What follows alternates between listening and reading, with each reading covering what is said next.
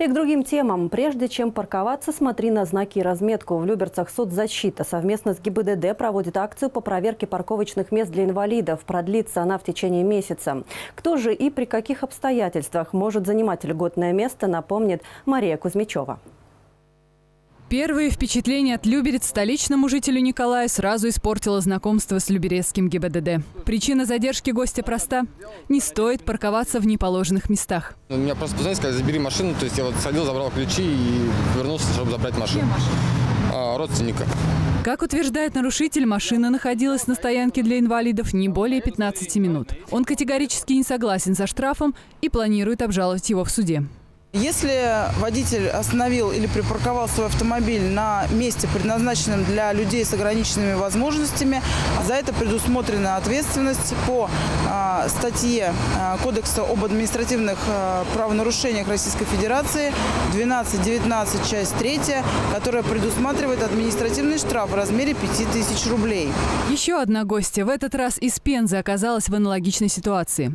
Оставив свой Hyundai на парковке для инвалидов и не успев зайти в торговый центр, она сразу же была задержана сотрудниками ГИБДД. Любовь Ивановна, видели знак, под которым припарковали автомобиль? То, что там остановка, стоянка только для инвалидов.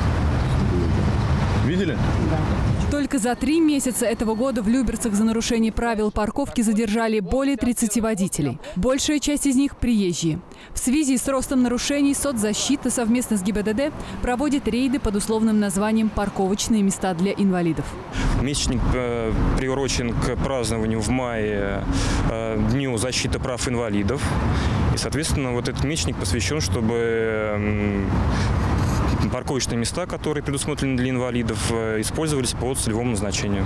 На сегодняшний день не менее 10% парковочных мест для маломобильных групп населения выделяются у различных социальных учреждений. Право на бесплатную парковку имеют инвалиды первой и второй группы, а также перевозящие их лица и родители детей-инвалидов.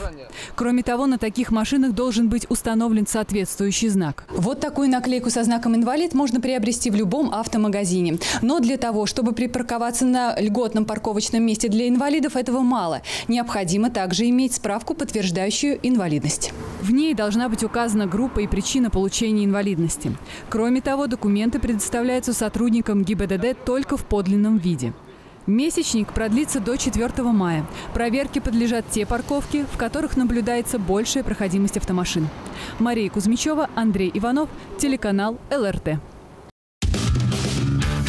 Привет! Я Наталья Григорьева. Вы смотрите ЛРТ. Подписывайтесь на наш канал на YouTube, ставьте лайки и всегда будьте в курсе интересных событий.